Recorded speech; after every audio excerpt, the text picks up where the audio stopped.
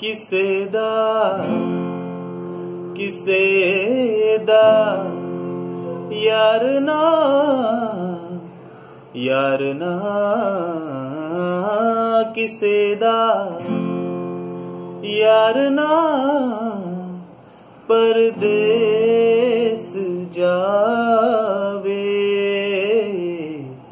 ਵਿਛੋਰਾ ਨਾ ਕਿਸੇ ਦਾ ਪੇਸ਼ ਆਵੇ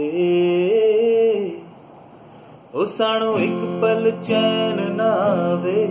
ਸਾਨੂੰ ਇੱਕ ਪਲ ਚੈਨ ਨਾ ਆਵੇ ਉਹ ਸਜਣਾ ਤੇਰੇ ਬਿਨਾ ਮਾਹੀਆ ਤੇਰੇ ਬਿਨਾ ਉਹ ਸਾਨੂੰ ਇੱਕ ਪਲ ਚੈਨ ਨਾ ਆਵੇ ਸਾਨੂੰ ਇੱਕ ਪਲ ਚੈਨ ਨਾ ਆਵੇ ਉਹ ਸਜਣਾ ਤੇਰੇ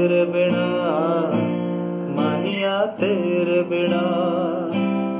ਉਹ ਸਾਡਾ ਗਲਿਆ ਜੀ ਨਹੀਂ ਲੱਗਣਾ ਸਾਡਾ ਗਲਿਆ ਜੀ ਨਹੀਂ ਲੱਗਣਾ ਸਜਣਾ ਤੇਰੇ ਬਿਨਾ ਸਜਣਾ ਤੇਰੇ ਬਿਨਾ ਉਹ ਸਾਨੂੰ ਇੱਕ ਪਲ ਚੈਨ ਰਾਵੇ ਸਾਨੂੰ ਇੱਕ ਪਲ ਚੈਨ ਰਾਗੇ ਉਹ ਸਜਣਾ ਤੇਰੇ ਬਿਨਾ ਮਾਇਆ ਤੇਰੇ ਬਿਨਾ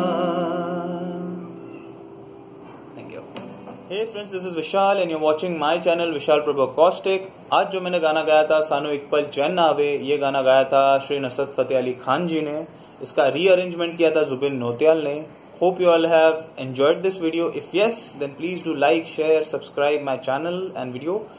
and please do share your comment in below comment section thank you thank you so much